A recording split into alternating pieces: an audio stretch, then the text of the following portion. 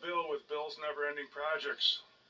Today we're gonna, I'm gonna, well, I'm 68 years old and I played bass, but I uh, practice guitar all the time, trying to self-teach myself, uh, learning things from others while I played bass uh, in 1982 and using what they told me and then to take it further, uh,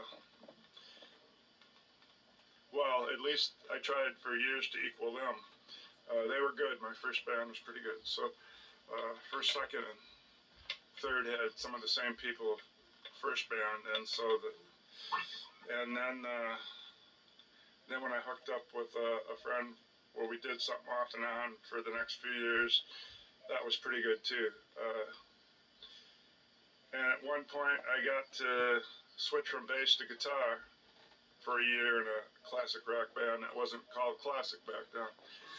Uh, so uh, I thought I would do some preaching on some of the things that I learned for people that are just average Joe and uh, an average an average Joe that wants to uh, to learn guitar.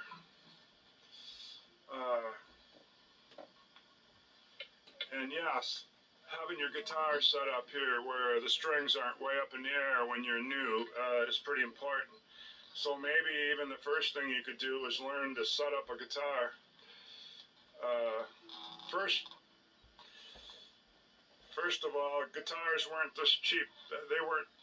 There weren't so many people mass producing them. Uh, back in the 70s and early 80s as there is now. And they just definitely, uh, you couldn't get a quality one for 150 bucks, even 100 bucks used or something. I'm talking about used prices. Maybe there's a quality new one for 150 bucks, but I don't know. But, uh, so it shouldn't be hard to pick up a guitar and just try to pick up one that's set where the strings are uh, where you can hit it down here and you don't hear a bunch of noise where it's catching and you can hit it in the middle and you can hit it up here. And uh, same with the bass side. And whenever they fret out it's always right in here because these are the ones that fret first so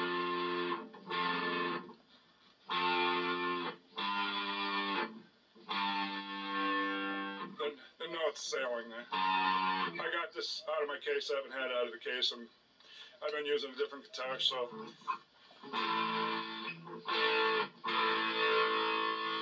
So, uh, so you do want to learn some about guitars before you start, so that you can have have uh, it set up halfway decent, or buy one that's already set up. So what you do want to do is at first, I guess you'll have to use a tuner to get it near where they go and realize uh, and realize that and realize that uh, when you bring them all up to you could use a piano and do it by ear. This one's going to be the first one's going to be E. I'm talking from the big one going towards the little one. Big one so where your chest is. The first one you come to when you come down, going towards from your head to your legs, is going to be the thick one. They're going to get littler until you get furthest towards your feet, and they're little. Uh, so when Tony Iommi and Black Sabbath heard his uh, the ends of his fingers, uh, he had to put he got them partially snipped off and he had to put on uh, thimbles to play, and he had to put leather on the end of the thimbles. He found out they still hurt, so he had a string company make him nine gauge strings, and and so forever on, you didn't have to play with tens. They, they call the gauge strings from the little one, whatever the little one is. This is a nine, and they end on 42. So the nine gauge. Uh, forever from then on, you could get light gauge strings that don't hurt so bad to stretch. And uh, and so that's what I suggest. Uh, you don't need any more. Uh, you don't.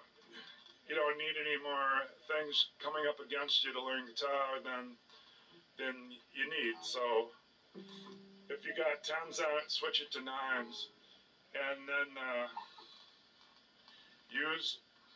I'll show you here.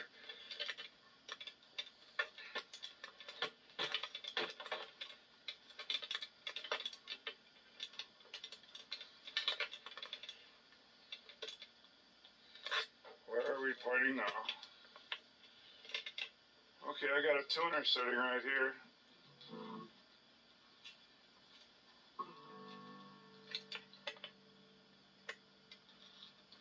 Sitting right here on some tab books. Short cord for your tuner. This is a, a chromatic tuner. It doesn't tell you when you're low or high, but does light up when you're right on, or close to being on. And so you do got to know the name of your strings to use a chromatic tuner. Uh, so we're going to be using the E A G B D E. So uh, undo your card from your guitar, drop it. Put in the short card you have on your tuner.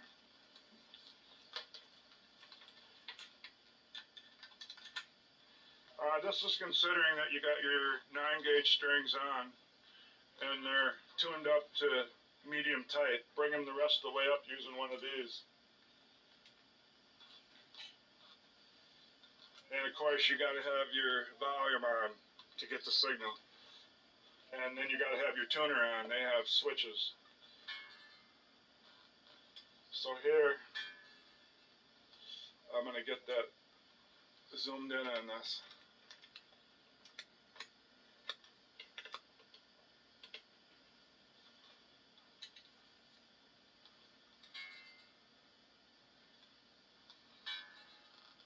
Okay, it says I'm sharp for some reason. Let's try the A. D's on. Okay, A has to be loosened a little. So whenever you loosen it, you got to take them and you got to take them and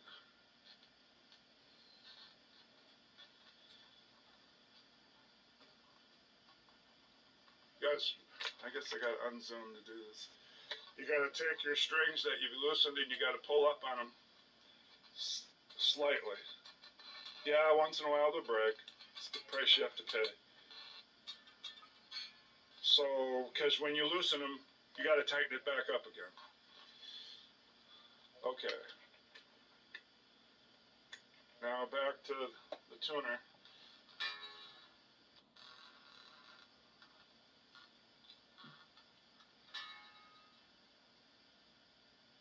Uh, I don't know why we are still sharp, so I'm stretching it again. Turning it real slowly. I passed it, so now I gotta stretch it again. Turn. Uh, I guess that means uh, turn your tuning peg slower, a little at a time. And sometimes maybe your stretch will bring it into tune.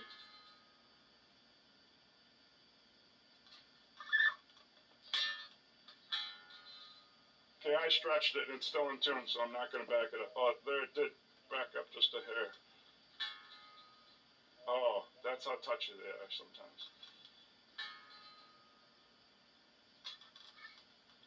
I'll back it up and then stretch it just a tad.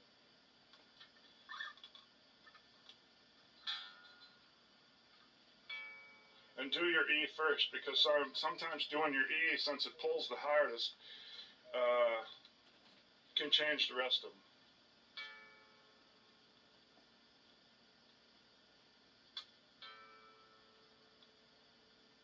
Almost went in.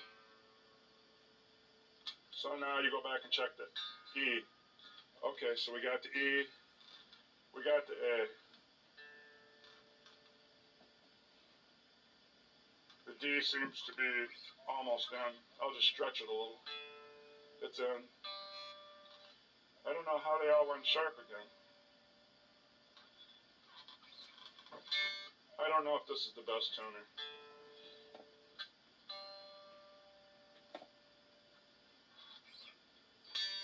So I gotta stretch it. Okay, it's in.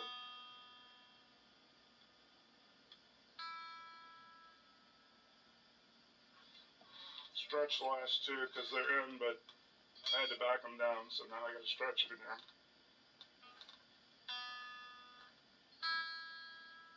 Professionals uh, that are really big time have a person hired just to do this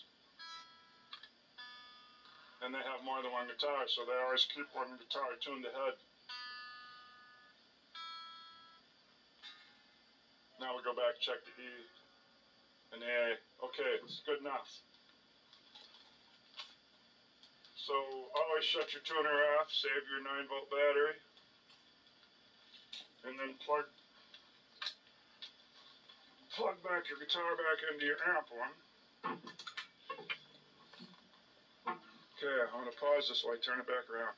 Okay, now, now, now that it's tuned, you have to have it tuned.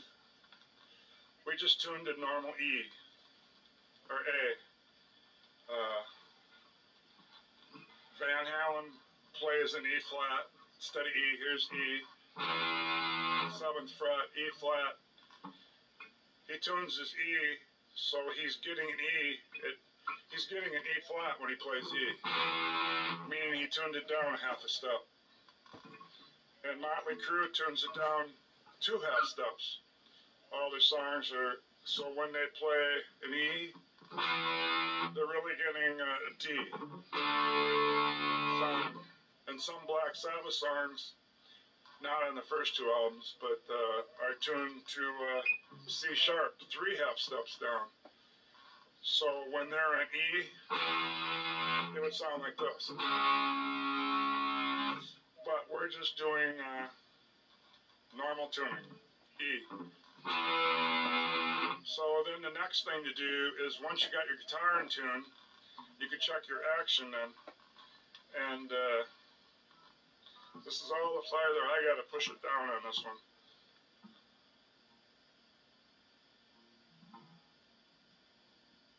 Not much. I don't know. I think a credit card would go on there. That's about it. So, and then once you use a tuner, you always check anyway because it seems like there's always something you got to adjust. That was right on. Right on.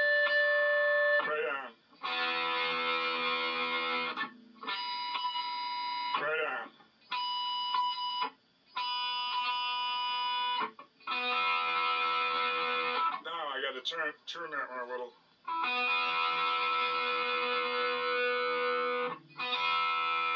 So once you do it where you just go across going, you got to You can't go in between the frets because it'll put it out of tune. Listen.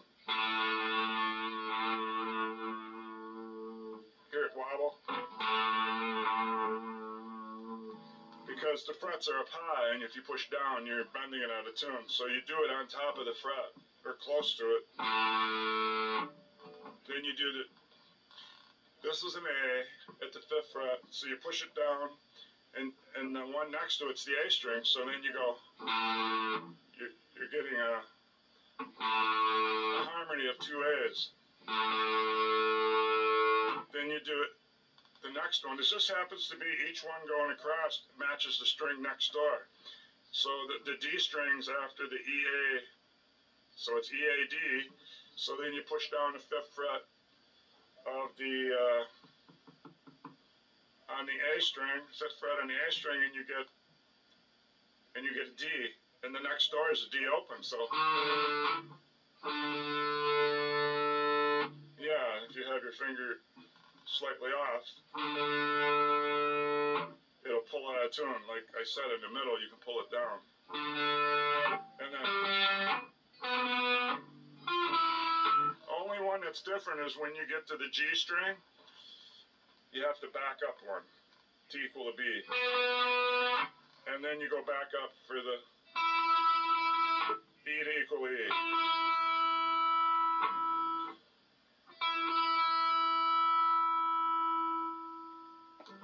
So, now the next way to do it, when you get a little more experience, use harmonics. Harmonics are when you just touch the string and you don't push it down, and then you pick it with your pick. So, this is a note. This is a harmonic. So then you go. You use the harmonic on the fifth and on the seventh. Instead of going straight across, now use the seventh. And you do it the same way all the way over. You listen to see if they match. With the harmonic, you can see if they match better than with just pushing a note down. Especially when your ear is new and you're not used to it waving. So.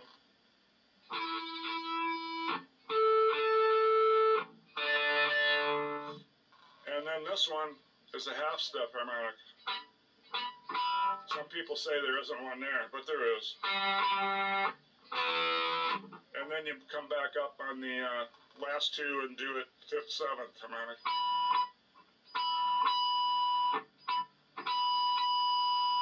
And when you're doing it, keep your hand kind of off the strings because I'm going to teach you to mute the strings when you're playing where you either you either put one finger down and hold yourself up and see so you're not just freehanding it or you lay your, your palm on it and do it and maybe your finger and your palm.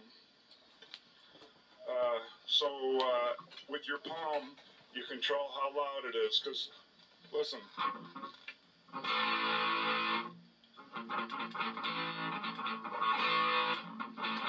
So it's much softer when you put your palm on it to so you don't just stay freehanding up in the air like you see some people strumming an acoustic.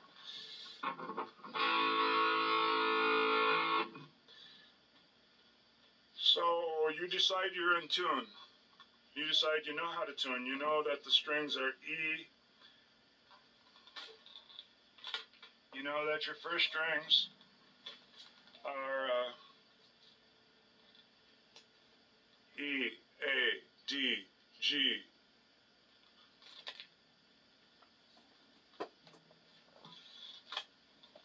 E, A, D, G, B, E. So, uh, E, A, D, G, B. Where's the little E on here? I was using this chord wheel. I don't know, uh, this is some of the things I picked up so many things, so many things when I was self-teaching myself. Uh, back uh, when I was in 82, uh, playing in 79, 78, there were hardly no tab books, and if there were, they were in piano. You had to read music to do them, and they weren't right. So the band told me to do it by ear. So uh, when you want, when you're starting out, you do need a guitar that where you press down. So where we did the harmonics, the fifth and the seventh on the other string, that's the power chord. And you're playing an A and an E. The nut up here with nobody putting their hand on it, if you play them all open, just.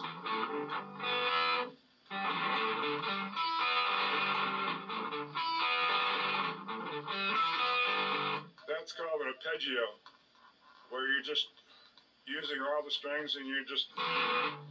just happens to be the nut that the string lays on up here before it goes up to the winders, uh, is, is fingering it for you. So then you could practice some arpeggio picking without even using your left hand, just if you're right-handed, without using your left hand, just going.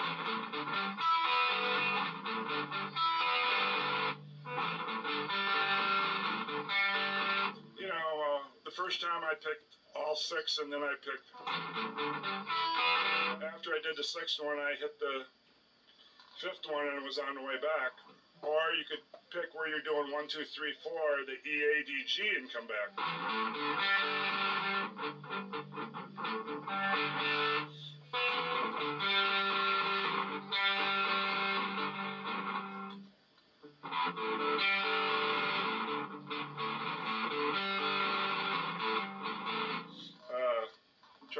This up so you can see without having to zoom it. Uh, that's arpeggio picking, and so when you learn to do chords, like the E minor, where you only push down the second fret on the A string and the second fret on the D string, you go.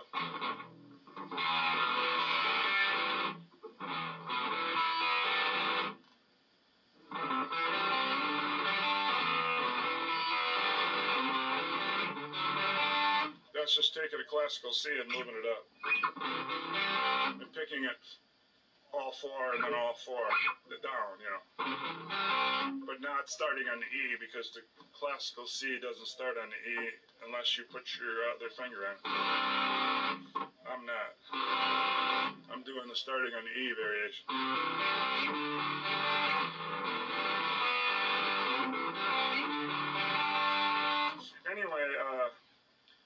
There's picking patterns to learn, obviously, uh, but we're not up to there yet.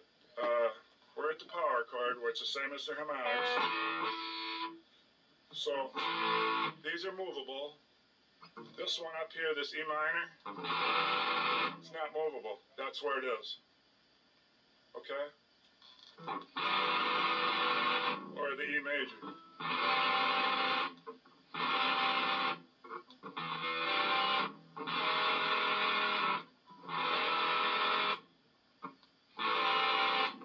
Was doing part of it.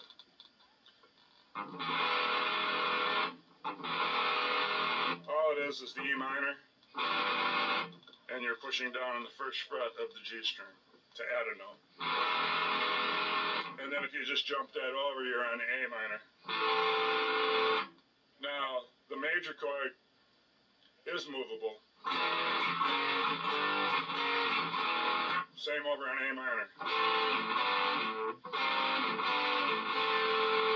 Okay, just like that C was movable a little bit because it's got an open string. So if, once it don't sound good, then you would say it's not movable.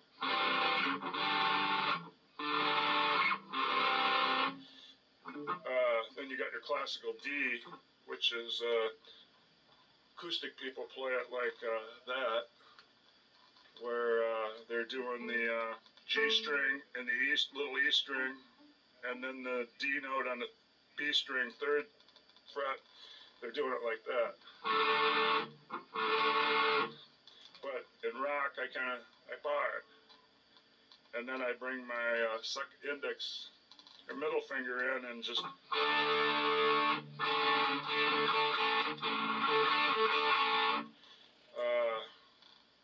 I just do that. And,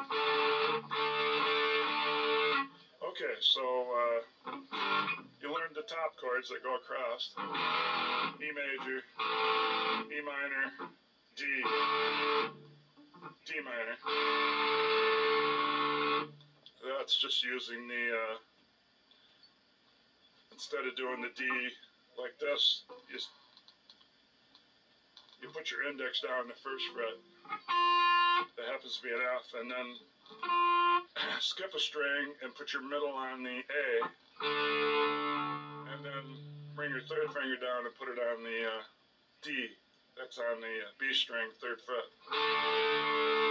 So you got the regular D. You got this D. You got that A. And just like the E minor, you can do an A where you're just using a couple. And the so now you got a tune. You heard a chord. Uh, that's why I was talking about a chord, because now you know the power chord. The power chord is movable. Every fret.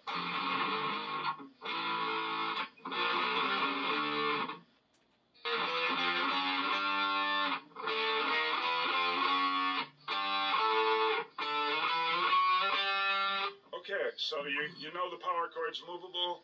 You know, some of these classical cowboy chords are not uh, so much movable right away. At least we'll say they're not. But they are. Here's the F. It moves. Uh, the D moves.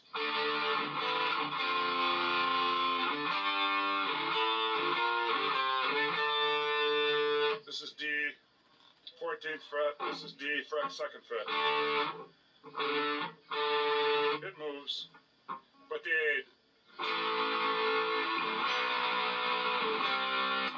sort of moves. E sort of moves. Uh, e minor sort of moves. But there'll be some, uh, like, say you did a. Anyway, that's enough of the top chords for now. I just wanted to show you, so we're back to learning to uh, straighten your neck out. When you get a power chord, when you're doing the A, fifth fret, and the A, uh, the A on the E string, fifth fret, outside, and you do the uh, two frets up on the A string, next next string in, that's power chord. They might have mentioned that in the School of Rock movie. It's the first and the fifth. Uh, if you're when you do a scale, a major scale in A, you get one, two, three, four, five, six, seven. So you take those notes to whichever note they were on. One, two, three, four, five. So the one in the power chord is the five. That's why they call it the, the five chord. So in uh, School of Rock movie, Black said, uh, "Don't add, just use the one five." He was telling them to add the uh, sixth or seventh or something other Maybe the third. I don't would be a note on the uh, D string. The intervals. Makes it a triad. Uh, when you do two notes, you're just getting like a power chord, a five, or other another formation. I mean, if you did like this, it'd be a four, I guess. That don't sound good, but if you did the first and the uh, first and the fourth would make a note. Now it's not a fifth anymore. That's a five chord.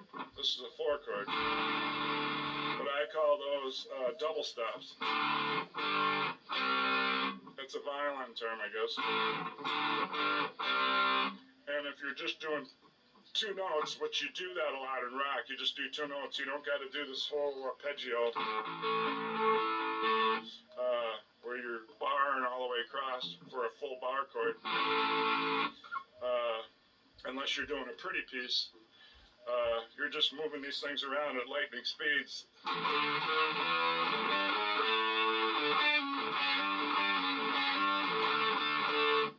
Uh, so uh, we're still trying to get to set up the guitar, and I'm trying to use the power chord for a way to tune. So one way was one note at a time.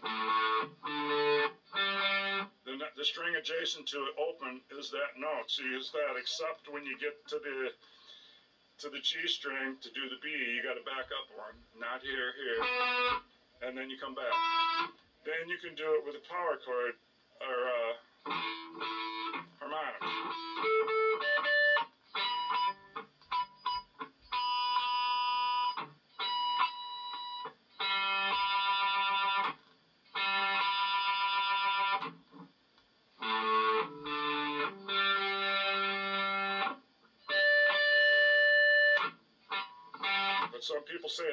So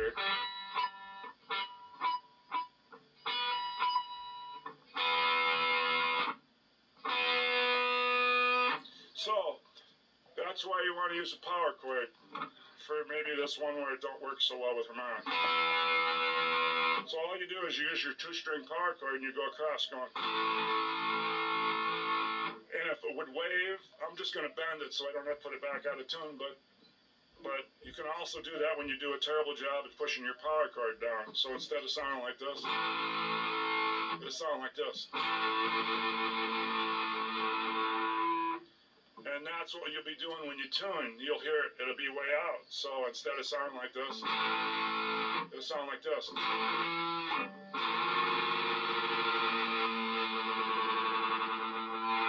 And then you tune it up with your peg until you get you get it even. So when it's when it's like this,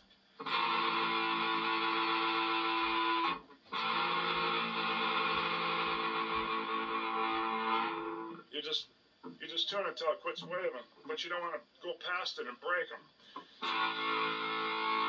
So, uh, you know, when you're trying to do your A, your uh, your A, and it sounds first it's here, then it's here. I mean, you start out way down here.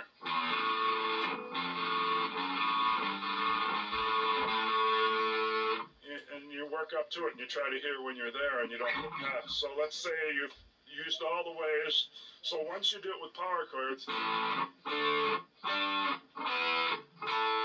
you hear how they wave. You hold it. You just say, how does that sound? Is it waving? And is it because I'm off the fret? There, earlier I was off the fret, now I'm not. So that doesn't wave. Doesn't wave. Okay, so uh, you learn to tune like that too. And then if you can do it with power chords like that, guess what these things equal when you uh, do them open? Let's say you do the first two open. That's a power chord. Let's say you do the next two open. Hear how that's riding and sounds like a power chord? It's because it is a power chord.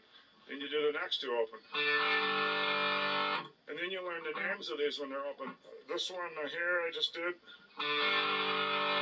That equals a G at the third fret. These two that you do here to tune.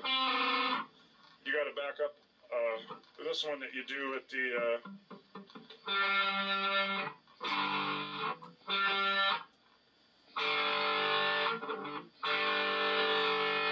and then the last two, you can, you can do those open.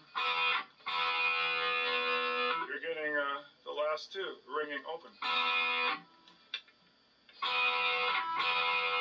That makes a power chord, and then so uh, you don't have to worry about putting your fingers on them and making them go crooked. Uh, the only way that won't work, Is if the intonation's off. the only way that won't work is uh, when your harmonics are off. That has to do with tuning. Uh, so let's go back to the tuning now. Now that you know how to tune every which way. Uh, so when you're when you got your guitar in tune and you look down the thing and you look down at the eyeball it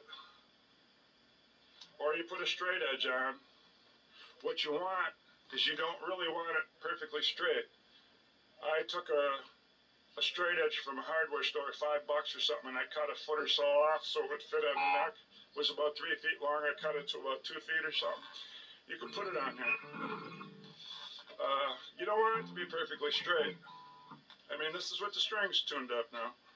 Uh, or with the strings completely off before you put them on. Maybe that's what I'm talking about, but because that's usually when I check it. You don't want it perfectly straight. You want a little bit of it looking like a smile.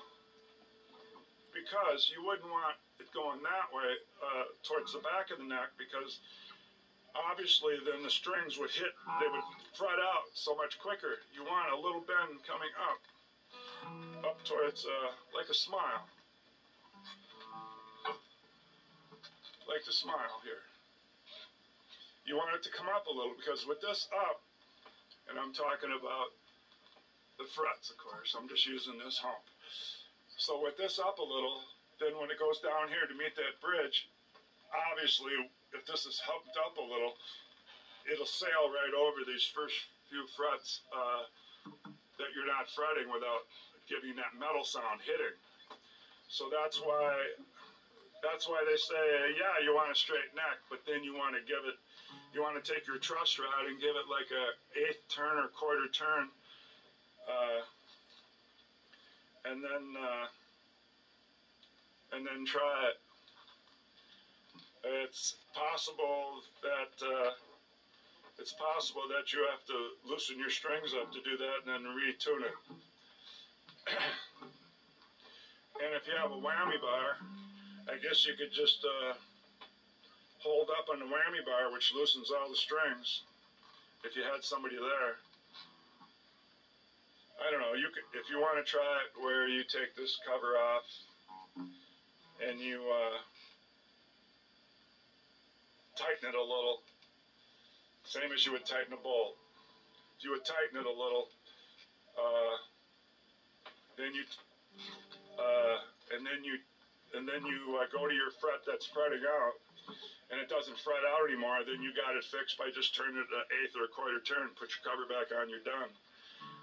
Uh, now you quit the, the terrible sound, and you can even play enough, and you don't hear any metal. And that's what's going on here. It's not bottoming out. This thing's been set up right since the day I got it. Uh, somebody in Seattle set it up. So I bought it from a Seattle guitar shop. It's a lawsuit Ibanez. Uh, so uh, then, uh, if it's not fretting out, and it was, obviously you uh, fixed it by just putting a little curve to the neck. Otherwise, you would have had to uh, you would have had to get it to quit fretting out, and then you would have had to start doing uh, a bridge adjustment to lift it up or down. But if it every year you have to adjust the truss sometimes on some guitars because the humidity changes. So over the winter it dries out from the furnace being on and the less humidity, and in the summer it uh, warps a little. So uh, you have to usually in the spring you have to adjust it, and uh, usually a couple times a year. So once you learn to adjust your neck and keep it as nice as you can. So if you uh, if you got that little bit of bow in it, and it's not going to make it quit fretting, obviously you're going to have to raise it up down here. And uh, again, probably have to loosen your strings to do it. I'm, I'm not an expert on that. So then you want to tune. You want to check your relief by eyeing down. This all spells the word train. You want to tune. T. T-R. You want to check your relief. That's that's that you got a little bit of relief and it's not straight, so it looks like a little bit of a little bit of a curve. It's almost a straight line with it's almost a straight line with just that little tiny little bit of curve. then uh, TR then you got uh, uh, what are all the fancy names? Uh, the other thing is, uh, if you change strings or anything, you got the intonation.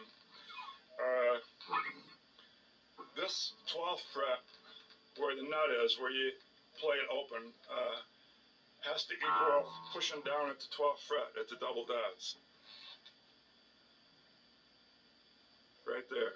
It's the double dots. So listen, I'm going.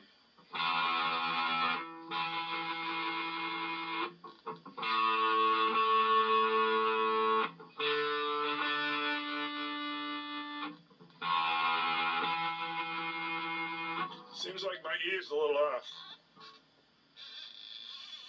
So that's when you adjust these in the back, back here. It makes it go ahead or back. You lengthen it or shorten it. Because that's how you make the nut equal the 12th fret.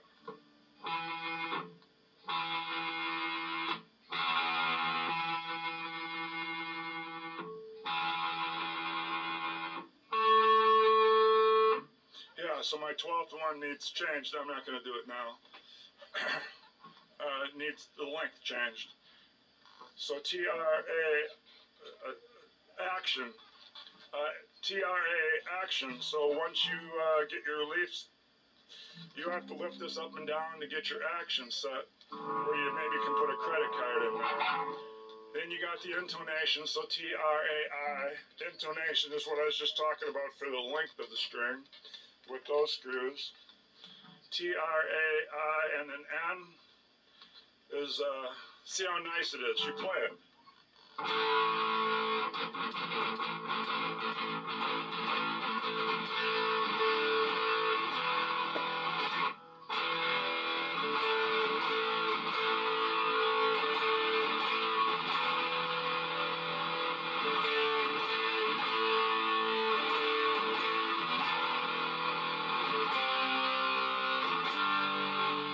Okay, so something about setting it up because really you do need to know how to adjust your guitar. Otherwise, your strings are going to be harder to push. You're going to hear fret noise, and uh, if you're going to change to the nine gauge that I suggested, then you might have to do the intonation when you shorten it or lengthen it to get the 12th fret sound like the nut. So those are all the uh, those are all the little things about about playing that don't have anything to do with starting to play, really. Uh, so uh, let's say you don't have a tuner, then I'm going to give you several records here several uh, records here that you can that you could tune to. As soon as I can uh, see how to, I'm gonna put this on pause for a second. There it is. We got the turntable in the picture. Okay, we're gonna first go with uh, Ted with the Cat Scratch uh, Cat Scratch Fever album, and Cat Scratch Fever's an A. So let's just try that one.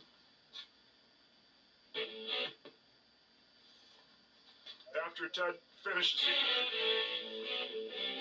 he's doing ABC. Now that bass just went and hit an air. That means you can tune now to it. And now the bass player's playing an A steadily. So.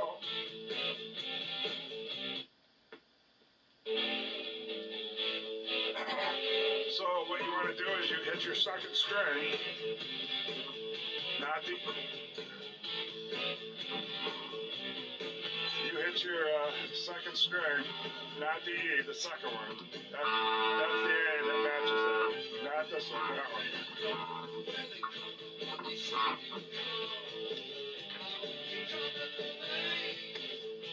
I'm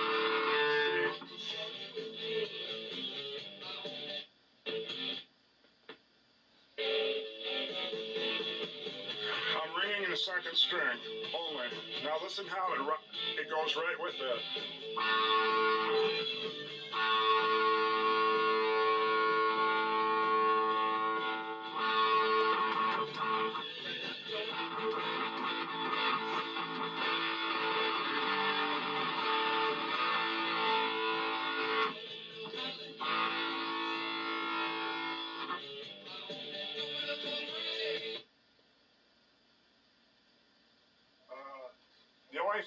Than that uh, is to get one on an album where it just lets one note ride.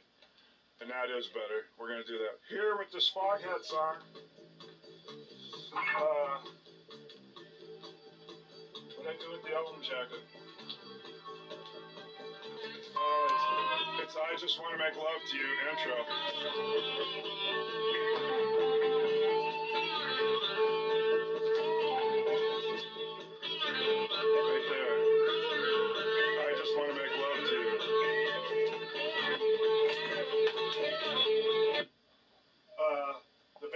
Player's playing A mostly all the time.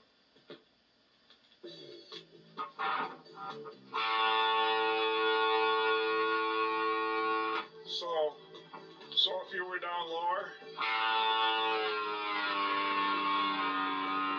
and you put your strings on and you were maybe within a couple frets, you got to bring it up now.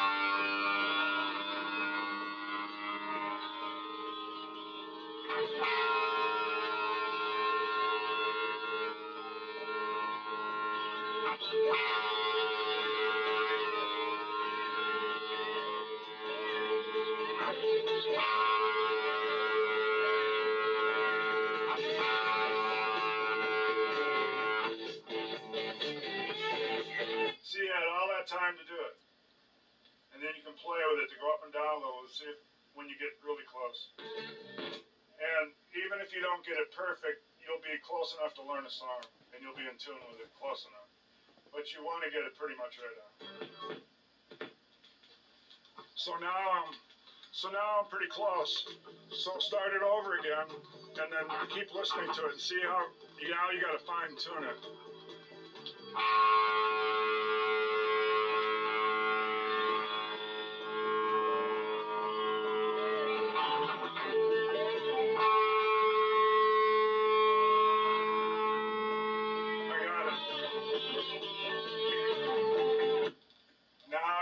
To my other string that was in tune and hit the harmonics and see if I'm right on.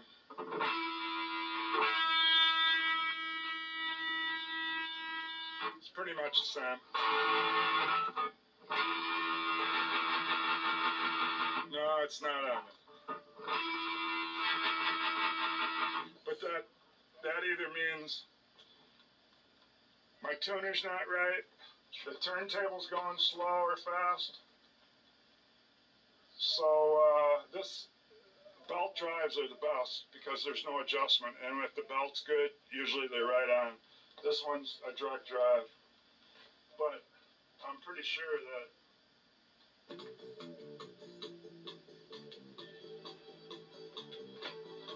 So I look at the uh, adjustment and it's not moving. They're both they're both even. So now I'm gonna see if I didn't get it right, I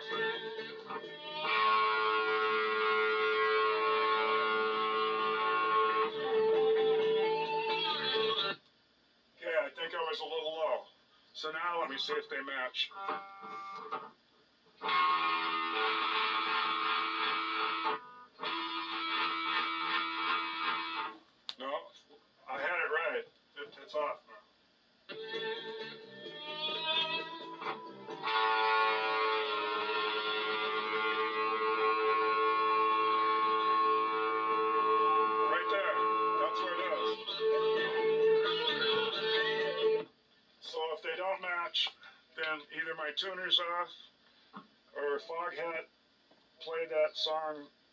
Tune.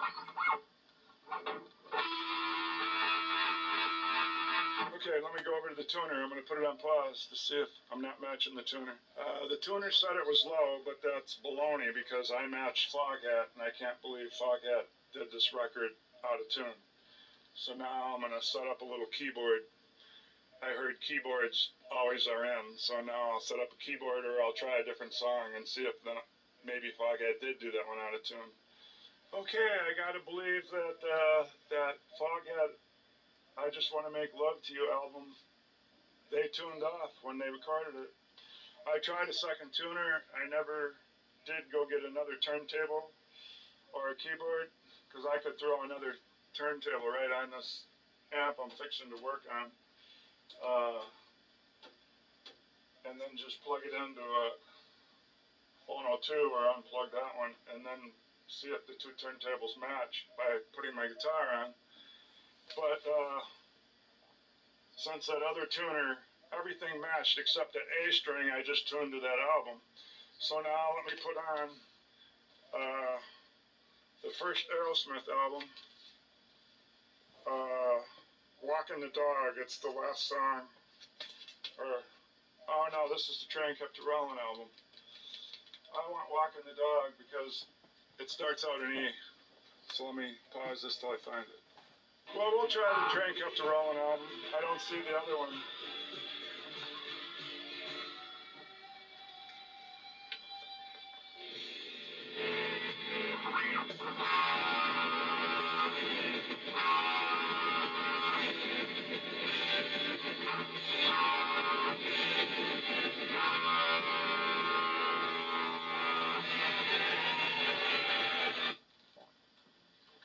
My turntable. Uh, that did match my E. Uh, I'm gonna go grab another turntable.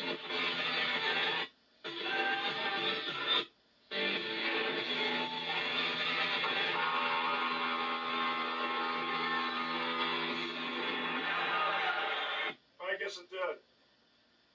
But I wanted uh, an A one because I tuned the A down, then I can bring it back up. So my little experiment would be different if I. I'm not going to tune my. Yeah, I guess the E might be in there. So. Yeah, I put on ACDC Hell's Bells, Brian Johnson.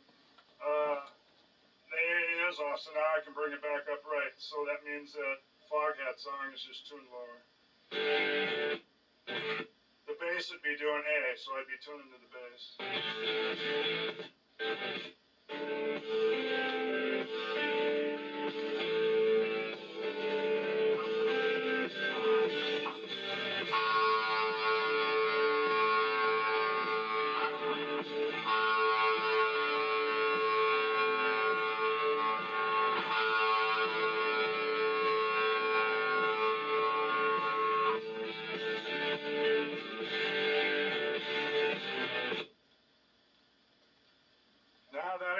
because I'm at A already. Okay, I'm out of the twilight zone. I uh, brought down a keyboard and I played A.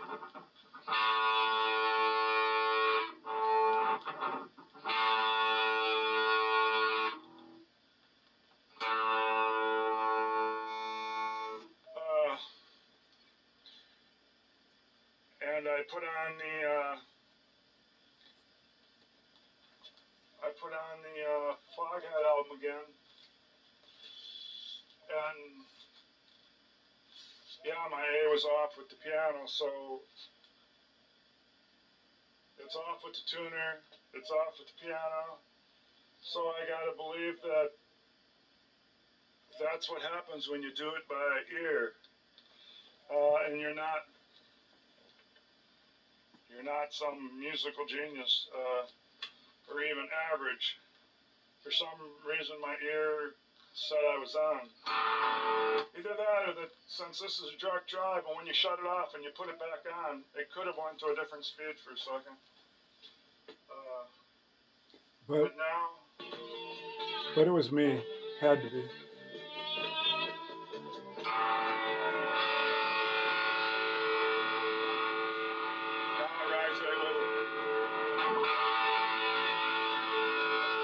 I didn't think Foghat was off. So I brought it up with the album, and let's see what does with this.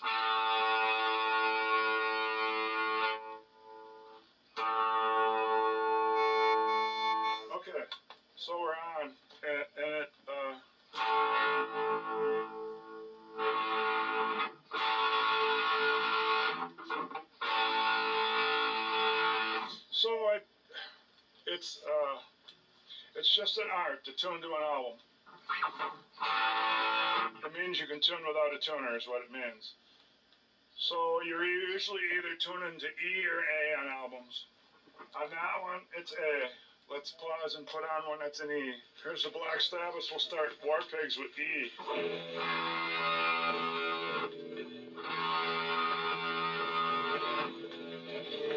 You could use uh. It's doing E, and then D, and then it's back to E, and then D, but it rides on E, you know, like.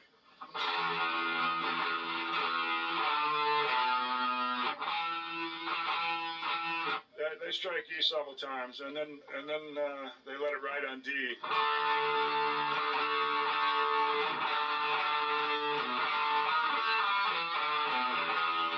So uh, there's one. Let me get another one. Paranoid, you could tune to.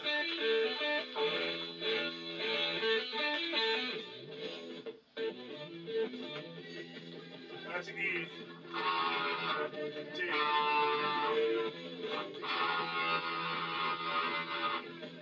That's E and D, and they even uh, and they even uh, ride on D later in the song. So we'll go we'll go uh, after the intro of going.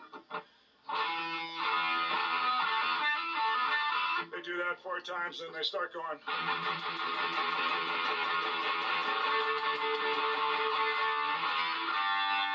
Okay, so that's E going down picking. They're not just riding, so you can still tune to the down pick. Just make like they're riding. Later in the song, they do go.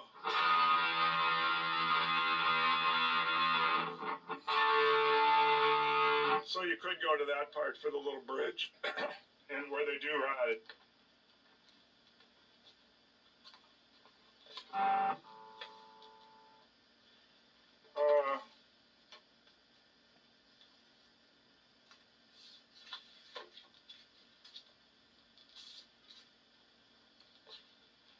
Sin City, uh, ACDC. I wonder if that's a normal. I know it's a normal tuning, but I wonder if they do it the right. Or they were tuned the right that. Uh,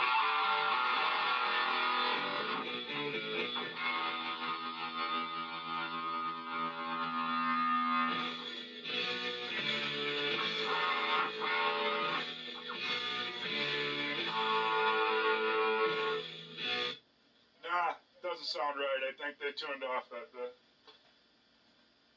There are some ACDC ones from uh, Bon Scott days that don't match right.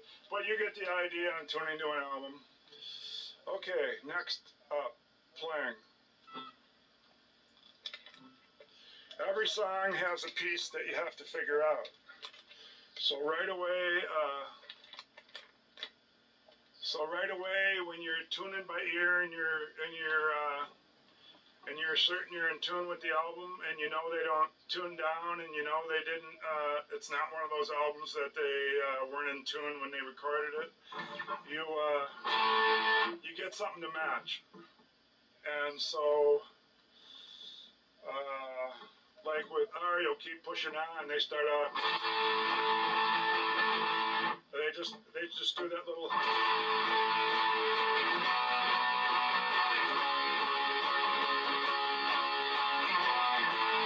So you would be matching this A.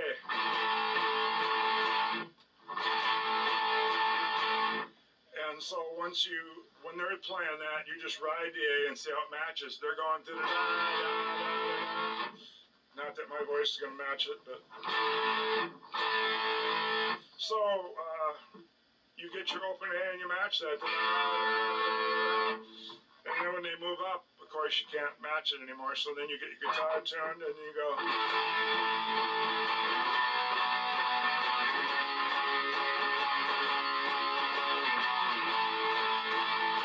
And that's pattern one. Every song's got 70s rock's got like three patterns. So uh, what I call the strumming in the pattern uh, the strumming and the pattern I call the little count. The count that if you just can naturally match the rhythm of what they're doing without doing too much about it, then you can just kind of forget about the little count. And the bigger count is how many bars you stay on everything. Like one, two, it, it's right there. It's four, uh, one bar each because you just count to four to get how many, how the length of a bar. So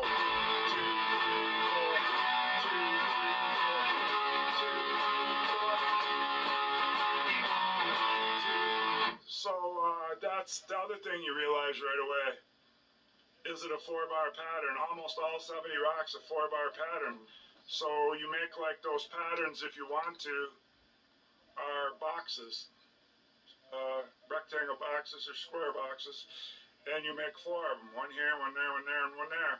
So bar one would be box one, bar two, box two, bar two, box two, bar three, box three, bar four, box four, and then it all comes back around. So you box one, box two, box three, box four, or call it bar one, bar two, bar three, bar four.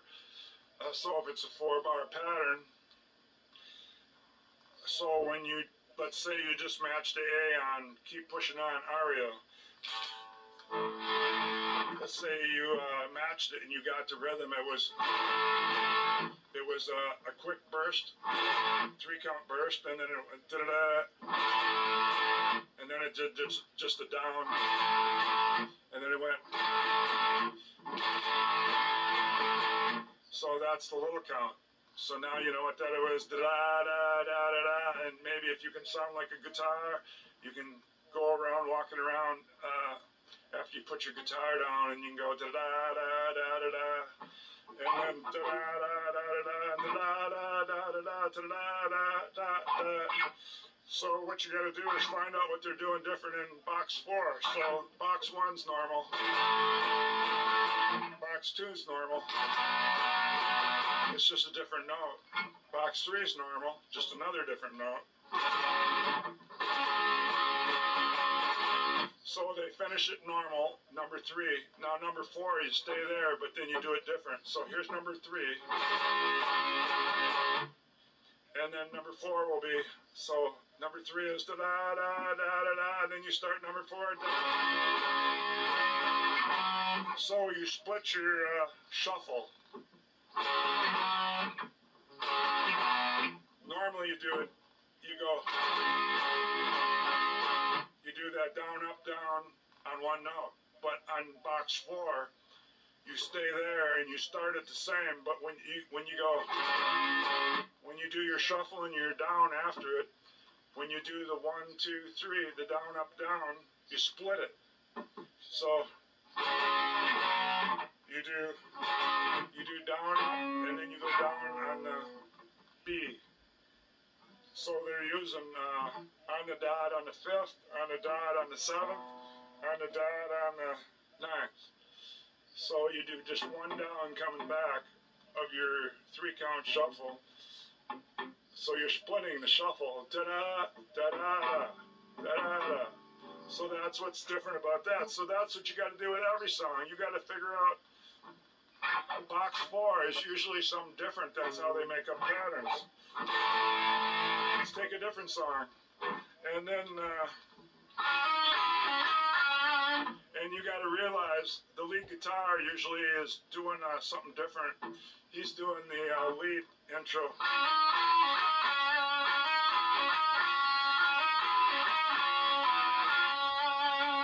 Okay, so let's take a different song.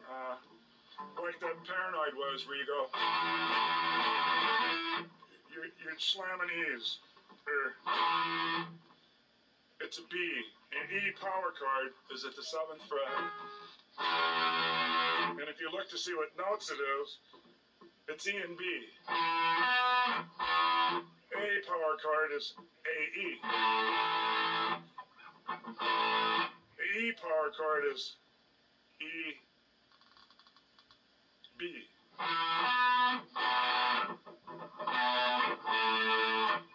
A B. It's the octave of the B.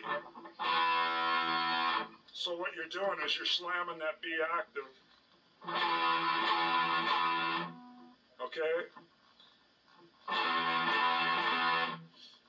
You're holding your index like you would for a power chord, and then you just you play it like you're playing a power chord, like only you slam it. You're slamming the B. That's called the hammer on, and then you go two hammer-ons. So that's the thing about hammer-ons. Rock music usually use hammer-ons and pull-offs. So hammer-ons are attacking. You say you got a good attack, an up attack, it would be would be talking hammer-ons. See, I'm only picking once.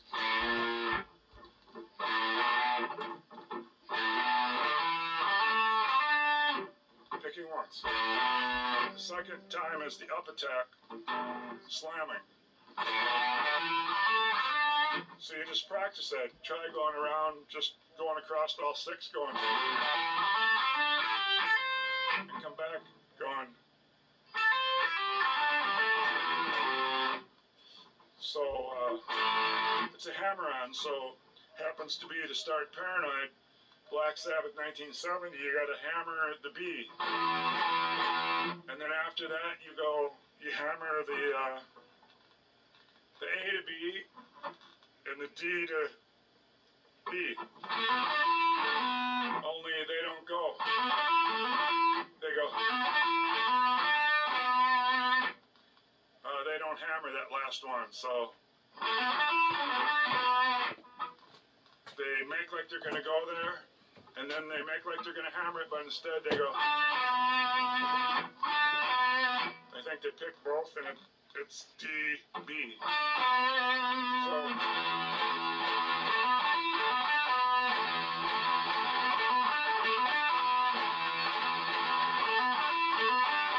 You do four of those, then you just start going E. E down here at the seventh. E down here open. E up here at the 12th.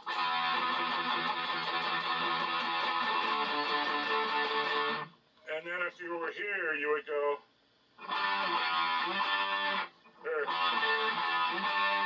It'd be E, D, E, G. Or G. So up here you go.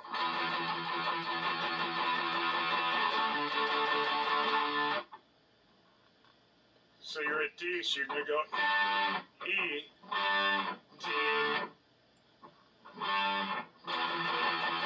Johnny up here, and you move down to D just like you would up here. What it is is you're you're down picking two bars of E, or Let's see how it is. One, two. It's four bars.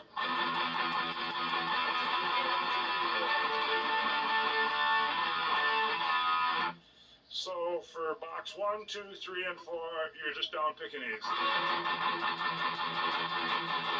And if you wanted to know when the boxes end, count to four. One, two, three, four, one, two, three, four, one, two, three, four, one, two, three, four. Every one, two, three, four is a bar. And then here it's two bars. One, two, three, four, one, two, three, four. And then you go, for box three, you go, it's E, D, E, and then you just do a G. So, or,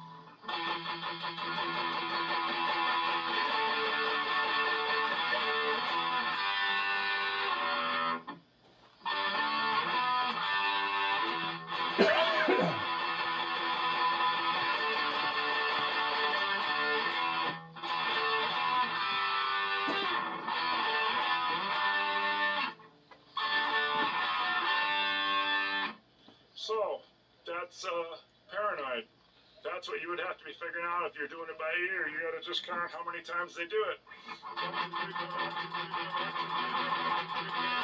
And you know it's in four bar patterns, so you go, well, that's four bars. Now you're to do four more. So that means it's an eight bar pattern total. You're doing four, and then you're doing two D's. And then for the number three, you're going. And then for number four, you're on. So that makes it eight bars every time this this uh, pattern turns around. So.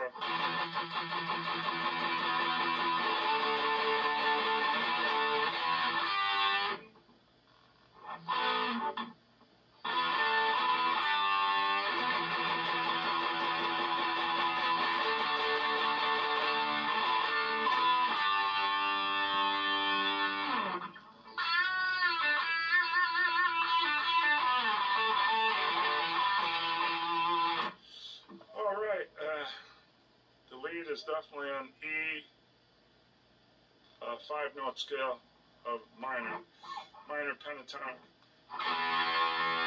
So uh, that's what you got to do to figure out. If you were going to figure out that cat scratch fever I was telling you to tune to, uh, it, it's uh, you would be hearing them go.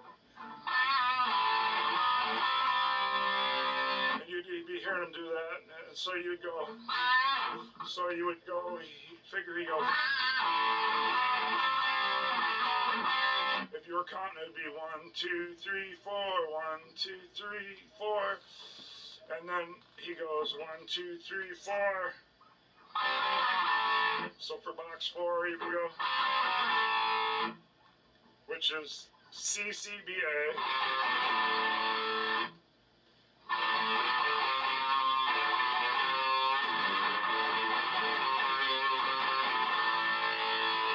It's a four bar riff that turns around, not like Paranoid where it's eight. This is a four bar, so it's just.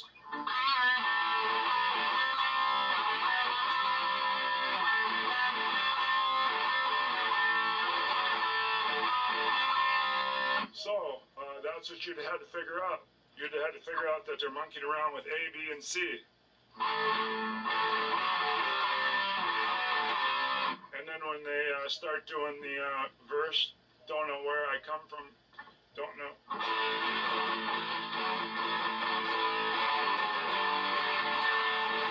Arpeggiate that, but uh, so uh, this is how you get into playing. This is what they taught me. There were no tab books back then. You have to put the record on, and you have to keep repeating it, repeating it, repeating it until things make sense to you. If and and everything isn't just with these chords. They're doing stuff like.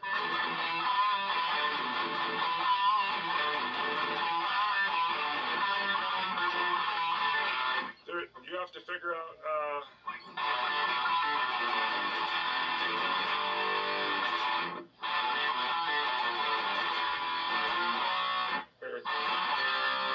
so you got to figure out riffs too. So the chords to figure them out when uh, if they're going. Uh, you're gonna have to go up and down a little. You get used to hearing D's. You can tell they're on the inside. A's on the outside. And and then you'll find out that there's a, fa- a far three sets. Some of the 80s used the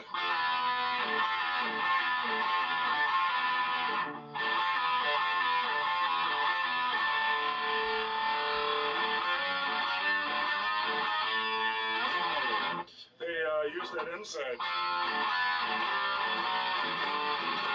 So now you got three sets of these. So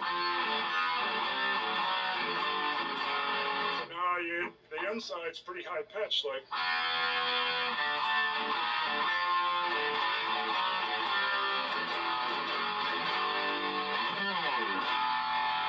And you get used to hearing the lower ones.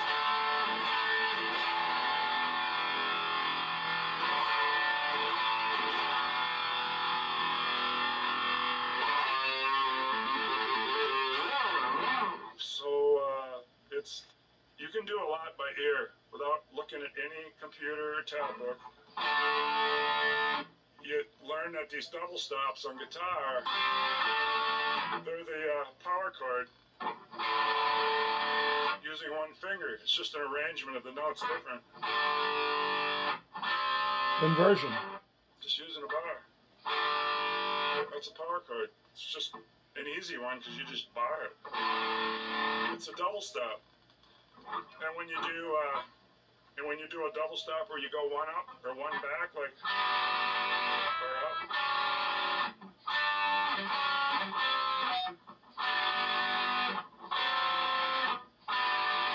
I call those dyads. Maybe you can use a Y in the name. D Y A D dyad or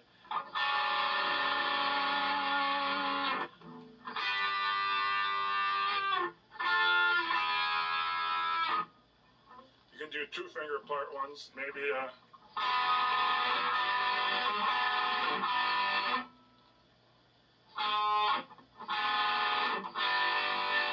So when you're listening to what to play, try to figure out if they're using top chords. They're using arpeggiated stuff.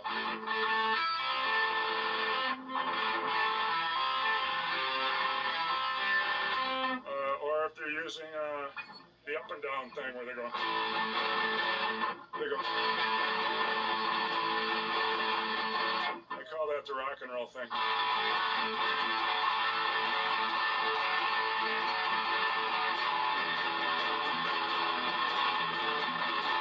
Or they just use one finger, just.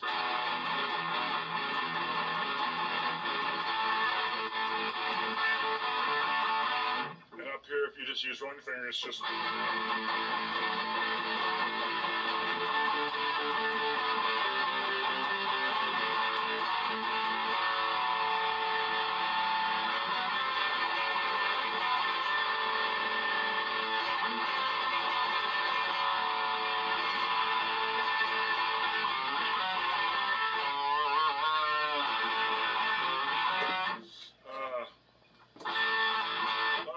Start with this.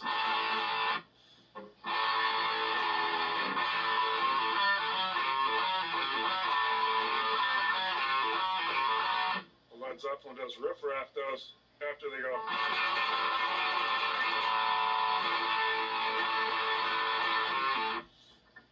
Uh, but it's your job to play by ear. You keep repeating and repeating it to figure out they're going, uh, what they're doing. They're going.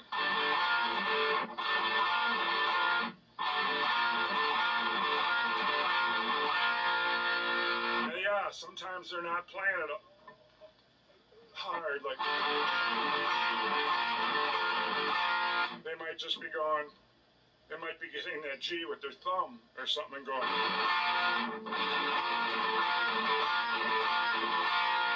Lot easier than going.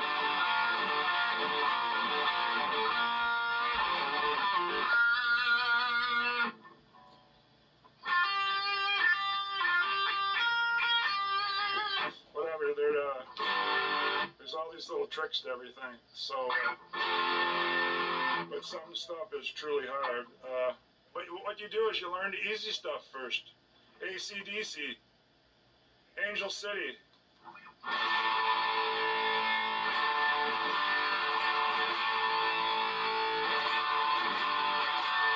That's all done, you go.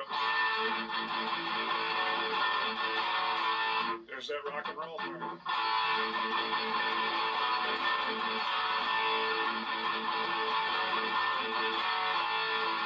And they just move around to some power chords.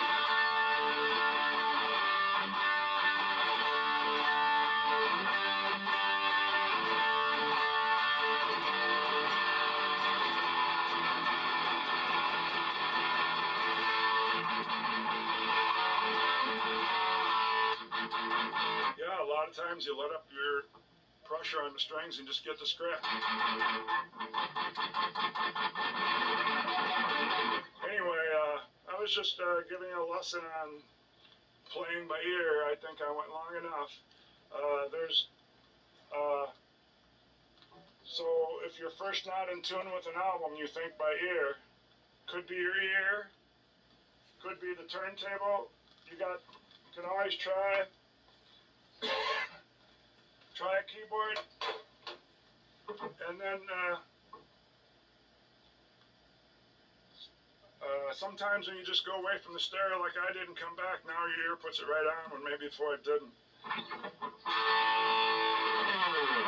So that's the end of my uh, little demo on tuning by ear and having fun playing with rock and roll albums.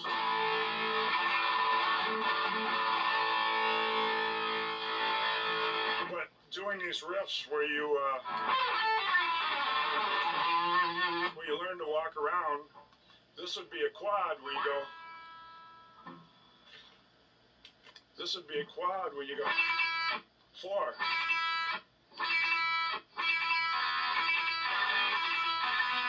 You just got to get good at doing four and stopping at four. Three would be you end with an up. So.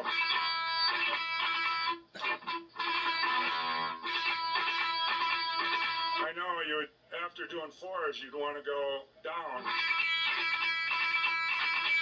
But what you do is you just think of which way you have to stop. Three, a triplet would be you'd have to stop coming up. It would be down, up. It would be down, Wrong. up, down. So Triple and down. Quad and up. It's a quad where you stop, stop going up. So you do these quads, you can.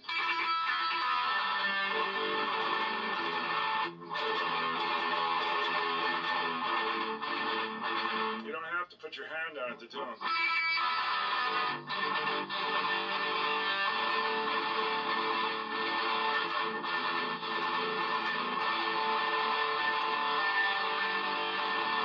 Course, you do got to kind of keep the strings quiet.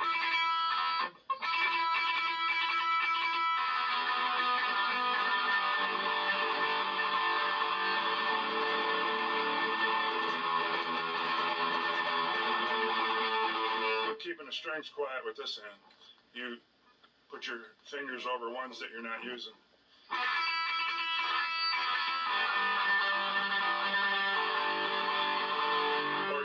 Use your thumb going one way, use your fingers going the other way. But that's quad, so triplets are.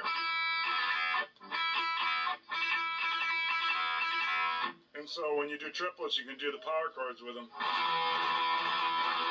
It's and a quad is. Remember I said you stop coming up? That's up. Triplet, you stop going down. Happens happens pretty quick. Down, up, down. And when you get them moving fast, you can't really see yourself stopping and starting.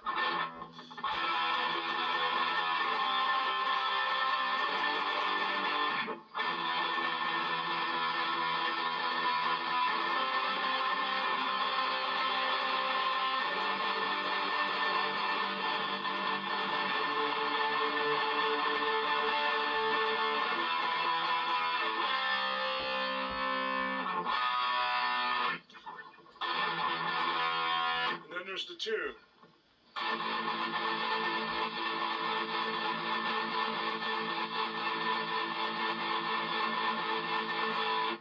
You're just doing twos.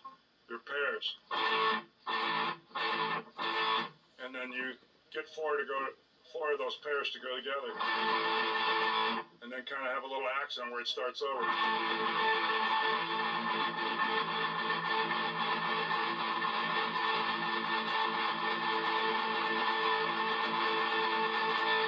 Then you take those things I just showed you with the pairs and the triplets and the quads.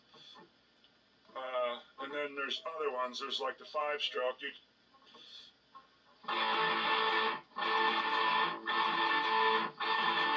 so you went, you went, you went. Then there's that's a five. There's other ones too. And then when you uh, get used to doing those, when you can just call them up when you want them, uh, you can use the ones. It doesn't seem like much, but one is just. But it starts out with just one. When you do four of those together, it's just four of these ones.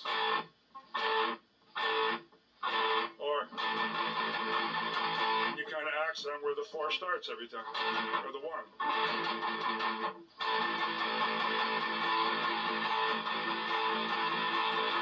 So what you do is you take just one of those ones, or a couple of them, and you go, and you put it in front of one. Give me one. Triplet? Okay. Now you got a, a beat that you can make up a song, or you, or you can match an album, because they do that. See?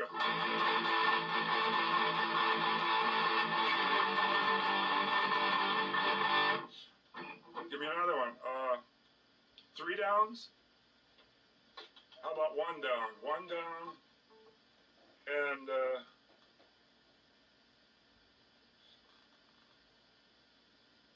how about how about a slow one, not a burst? A burst would be three count burst. I mean, how about a slow three count? That's not a burst, where you just go. It would almost equal three downs. But if you're still doing the up and down, it would just be a slow three count burst. So let's say we do it, then we do a three count burst, and then we just do a slower. We go, I'm just making this up, but you'll find these in classic rock tunes because people put these together when they make up songs.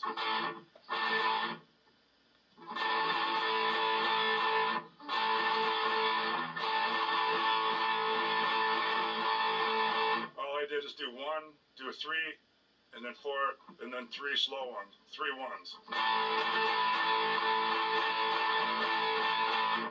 Now we're gonna do the one we said where we went.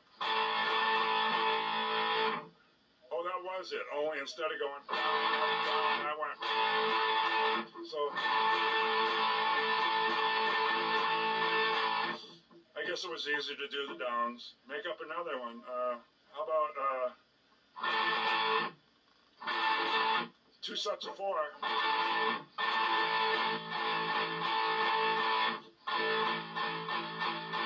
And I did six downs, so two quads.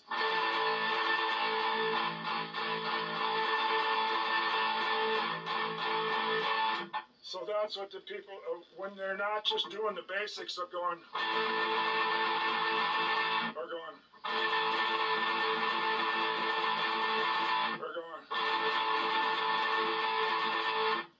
mixing them up. They're doing combinations of ones, twos, threes, fours, fives.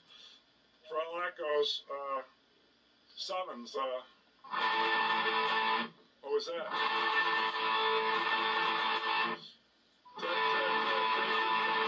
sounds like one, two, three, four, five, six. That was a seven.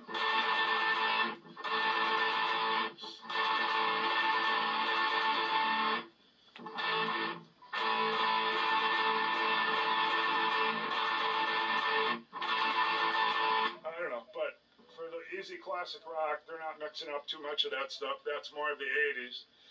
And uh, but they do use riffs all over where you have to practice going. You start with uh, quarter notes, just going.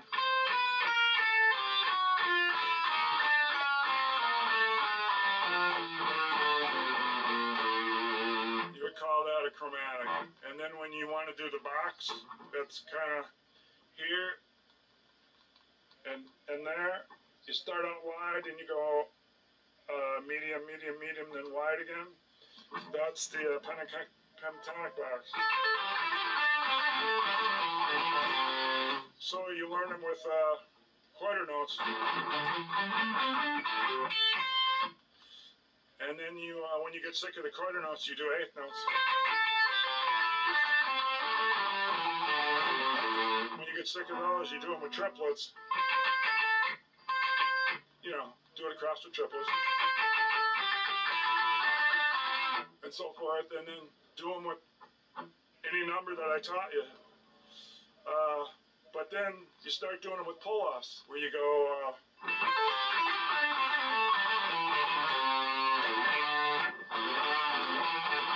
so uh, up attacks a pull-off. You don't have to go three wide. You could go one, just one and two at first.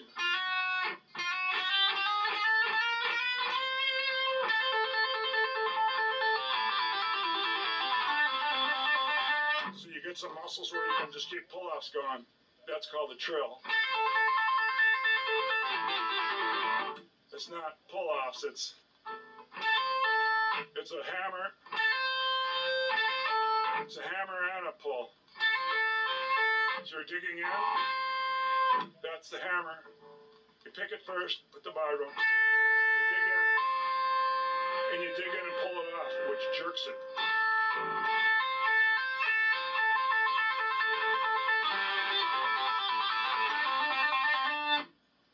And then you got to keep the other strings quiet. So.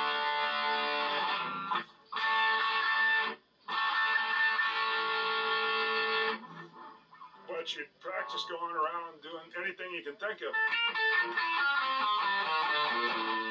Two part. Two part going up. Three apart going down. Or just do different pickings for each one. Do different pickings for four, four apart.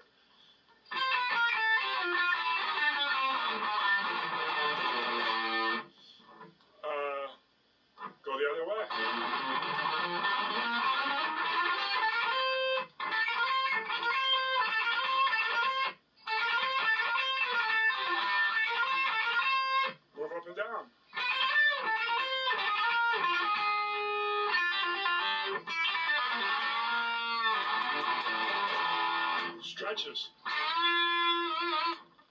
You dig in on this Johnny. Johnny B. Goode. I just call that the Chuck Berry double stop. You're doing uh, like a power, a rearranged power chord by just barring it, but you're doing the E and the B string, the two tiny ones.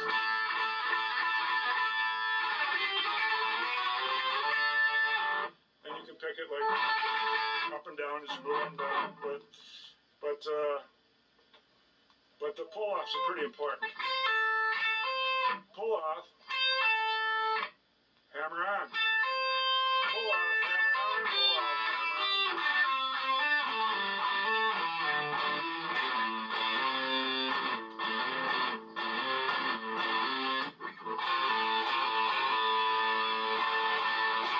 And switching bar chords fast.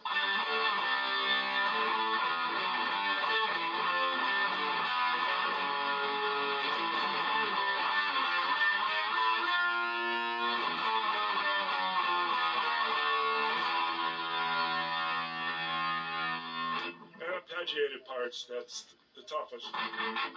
because you're doing it a pattern. You're I showed you where you're just going straight down, straight back, but when they get a complicated arpeggio pattern, like you know, you're you're doing a pattern, you're all over the place. So,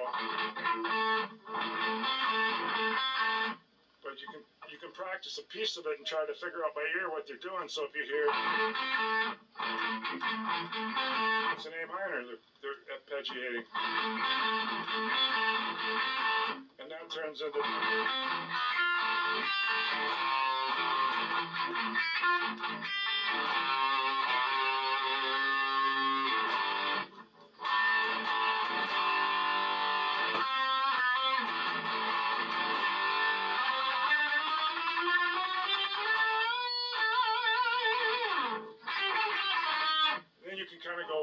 go one over and. s-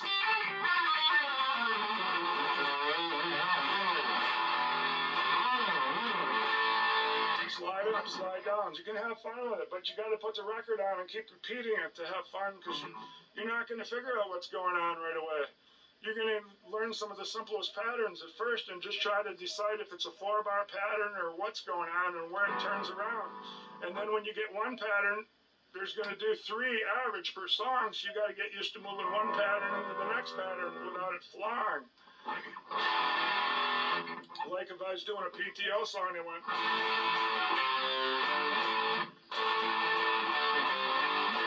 After they do that enough times, you learn when they change, and then you got to find out the change. The change in that was.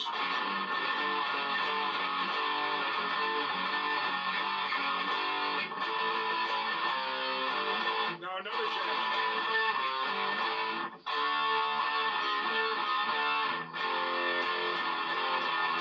So you would just have to keep trying things till you get that thing. So when they're going, yeah, F sharp is a different sound. That's what you finally have to realize is they're doing F sharp. You could try other spots. Too high. Still too high. Still too high. Yeah, so the other one we go. Yeah, they're not doing something quick anymore. Like they're going, they're waiting, they're going. Then they just happen to go. But if you don't go there and try it, so until you try the right spot, you're not going to line it up. But a lot when you're first doing this, there's a lot going on where you think you got it, and then you might think you have a pattern right for a week and, and or a year, and as you get better, you go, oh, I never had that right. Now I know what it is because now I'm doing doing something different, you know. And uh,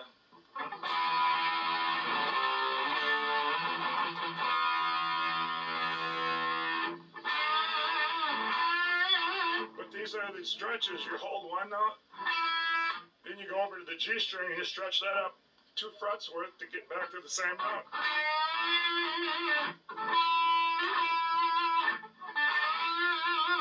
There's octaves.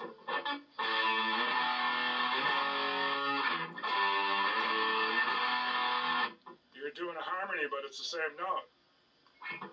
But they're uh, one's lower and one's higher. But still, still harmony, I guess. So you get used to listen to harmonies. If you do another, unless you're going to do two A's like I did, you're not going to get much of a harmony because it's the same note. It's just the other one's higher and it sounds cool.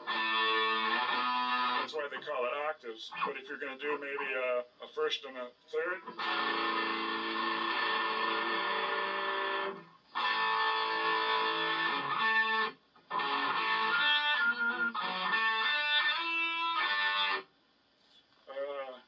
which one uses octaves? Uh, I don't know. Uh, but that's what dyads are. They're they're different degrees apart. I mean, you can have an octave is a one and a one, but it's actually a one and an eight because there's seven notes in a scale, and you're doing the eighth one, the octave. So it's not really a one and a one; it's a one and an eight. This would be a one and a seven. One and a six. One and a five. One and a four. One and a three.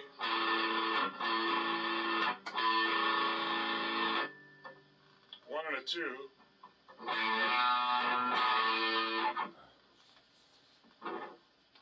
How could I do that?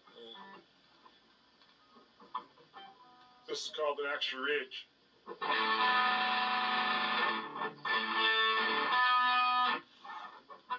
But that was doing it eight.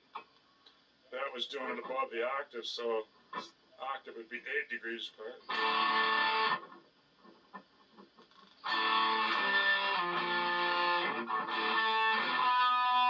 This would be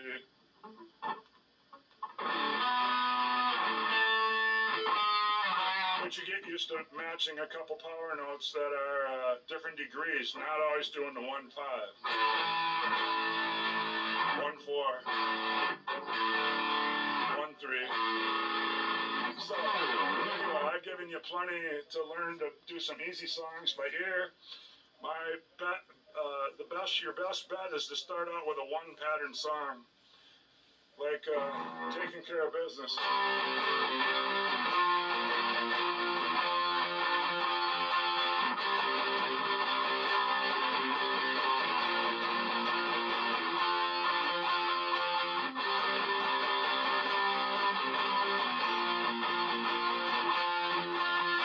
It's just one pattern all the way through.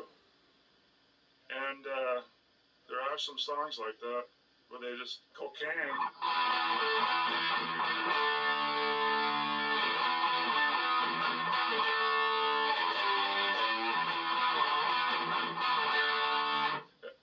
I mean, if the if another pattern's so easy, like she don't. That was just four crashes. You can hardly count that as a pattern, would be a two pattern song. But Stranglehold is. They use the octave.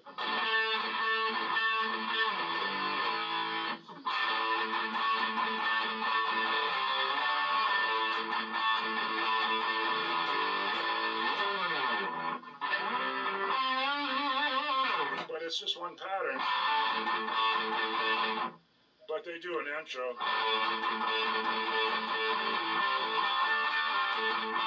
Uh, but anyway, I'm getting tired, uh, I've done these preaches so many times, and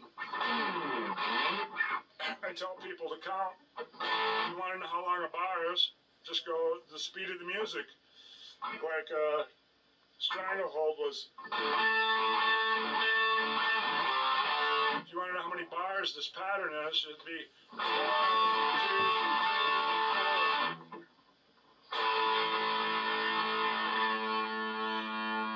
Kind of drum beat would be like boom, boom, chick, boom, boom, chick, chick.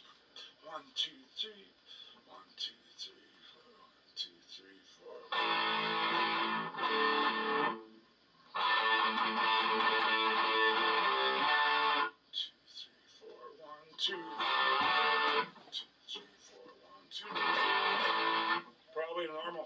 Pattern like other ones, like.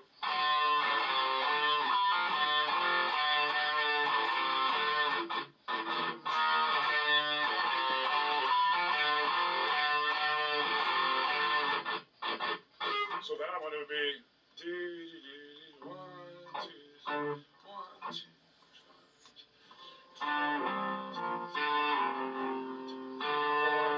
It's a four bar pattern. You just kind of wait on some of them. So they like wait for one and two. That would be the first bar. That would be the second bar. And the third bar would be nothing. You just go. So riffs, you can still count along with riffs. It's just going up and down with different notes. Uh, but you can still, so if they're going, you can still go one, two, three.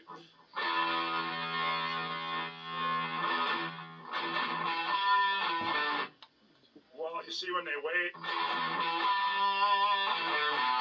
But if the record was going, you wouldn't be playing it. You could easily do it one, two, one, two, three, four, five, six, seven, eight. One, two, three, four, five, six, seven, eight.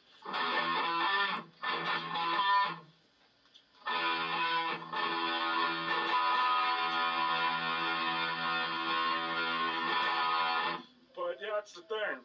Learning to count at the speeds they're going and not letting the music goof you up and figuring out the timing because sometimes they'll do a fraction.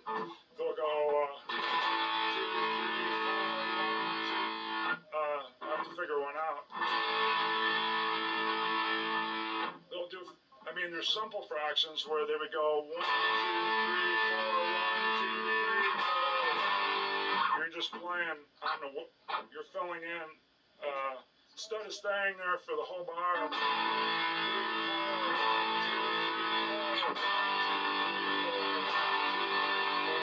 You don't want to stay there for the whole bar. You, that's how you start doing riffs. You learn.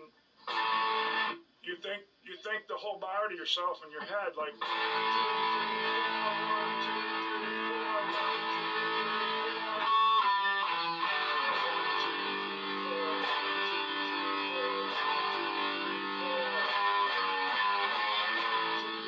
So after you, let's say it's a four bars that you stay on one note, which would be the easiest you could do. Then you start filling on the last bar. So I'm starting the third bar. One bar left, so you go. So you keep track. And almost everybody I give these spiels to don't want to count. But then they wonder why they can't put a fill on. It's because they don't know where they are. Because they refuse to count. And they're not feeling it because they're not a born musical genius. So that means you're going to have to count. So now let's say it's only a two bar pattern, so I don't got to wait so long. So.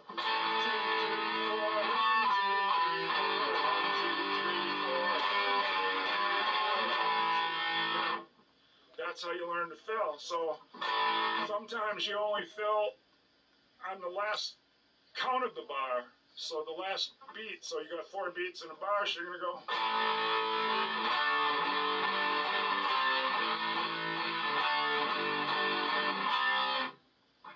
We did another note on four of the one, two, three. Now maybe we do it. Uh, now we're gonna do the other note on all three beats and just not the first one.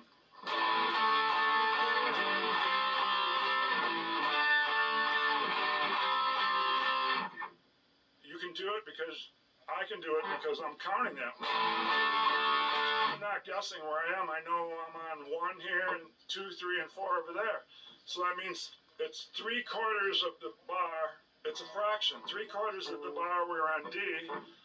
One quar- uh, one quarter we were on A. So same with J and G, G and C. And the golden rule is when you learn these strings up and down, E and F are together. You know, E and F are together, B and C are together. B and C at the seventh and eighth on the first string anyway, and E and F on the open to first. So you go, all the rest get an extra. They get uh. These are half steps. And all the rest get a whole step where you skip one in between. So, so knowing that rule, it's. Let's continue over here. It's A, B, and C is together. So you know this is A open.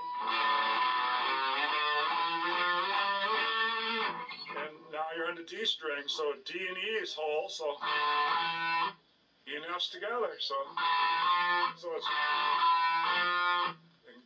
now we gotta go a little further. E F D E D E F G A B and C up here stays together because of the rule. Then D, and back to the octave. You can learn that on every string, and then pretty soon you know your note names, and you don't got to be like a guitar player that can only go fret names. First, third, yeah. Then you can learn the slides. You pick it. You kind of pick. You don't pick the slide. You just pick it, and then it has mo- it has noise, music, or whatever you want to call it.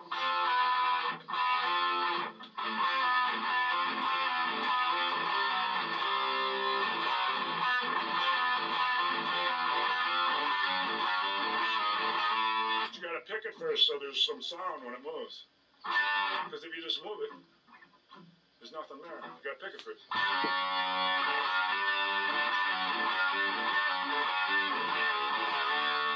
You put the slides with the hammers, now you got a little bit of your tricks. Those are in your toolbox of tricks. And harmonics are tricks.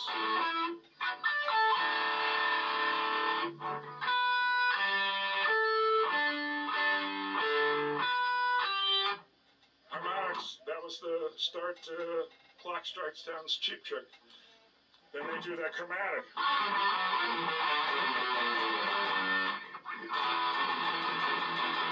Anyway, I done preached. It's over. If you've seen how important it is to count, if you want to learn fills, and uh, and it's very important to be able to get the guitars in your head because that's what you got to play to open a song. So if you don't think it, you have to hum a song out. So if I go like this.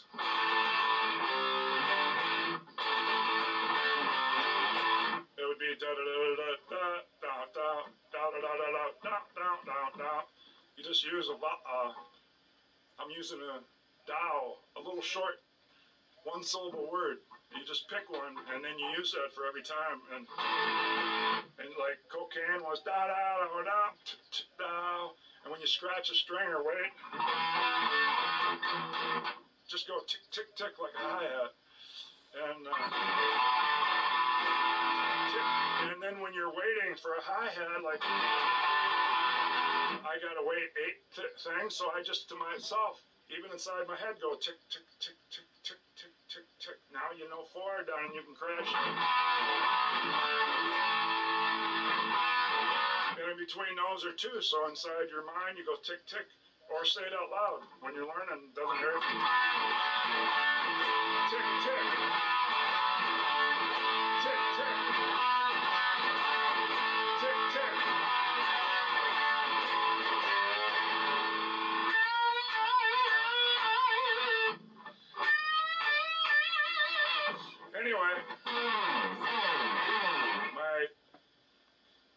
Learn to play by ear, learn to tune by ear, learn patterns by ear, put patterns together, do the hammer on tricks, do the slide tricks, uh, learn some picking patterns, learn the uh, strokes, different ones of like put two together, uh, play all the basic picking patterns. So when it, if you hear one on the album and they're putting two together to make a combination riff, you can get it right away because you because you already practiced it. Then you'll hear it. Uh, uh, remember uh, to keep track of the pattern, uh, you gotta get the small count to where you don't gotta think about it.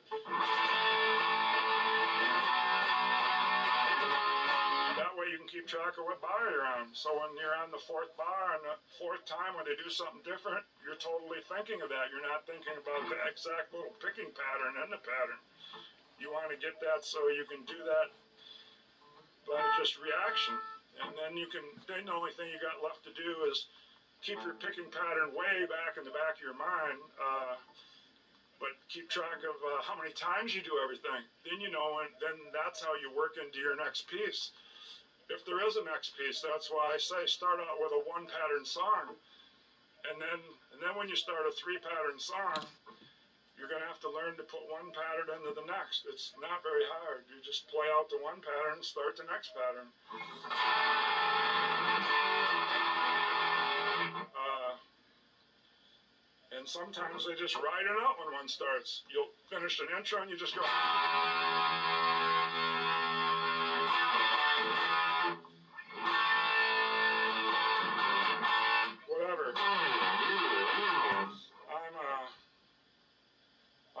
Spiel. I don't know how long it's went, but I'll post it, and if you learn something from it, yay.